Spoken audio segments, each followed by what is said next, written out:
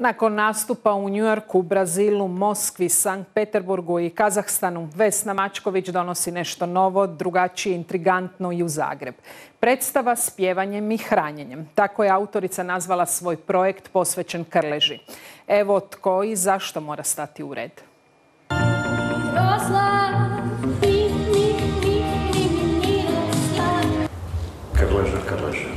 Da u ovom trenutku živi i radi velikan poput Krleže, bismo li ga u 21. stoljeću uopće prepoznali? Ushićuju li nas imalo pisci, poput političara, sportaša i estradnih zvijezda? Sam naziv Krleža, stani u red, sugerira odgovor. Ja sam imala veliku želju napraviti rad, e, radiofonijski rad prema Krležinom djetinstvu u Agramu.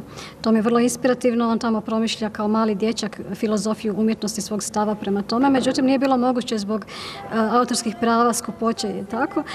I onda sam dobila mogućnost da napišem vlastiti tekst i ja sam napisala iz nekakvog prkosa i inspiracije s tim situacijama. Uz kazališne elemente umjesto samog krleže autorica se poigrava i multimedijom.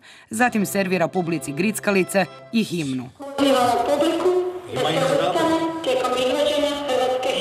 koji su ustali su Ovdje je baš ono njegova aura, ono što je od toga ostalo, ono što je tu neki fokus, neki smisao nekog velikog književnika, velikog umjetnika. 2018. godine djeca, e, više smo mi ono za pjevače i te youtubere kako. Internet, odnosno tablet, youtube ili knjiga? Ko ja? Hm? Što bi izabrala radije? Pa vjerojatno internet. Ne bi ja... U redu za karte publika ne može stajati jer nakon premijere šesteročlana postava nema reprizu. No u oči premijere stigla je nagrada za radijsku 17-minutnu verziju Krleže za audiofikciju studentskog žirija Sarah Lawrence College u New Yorku.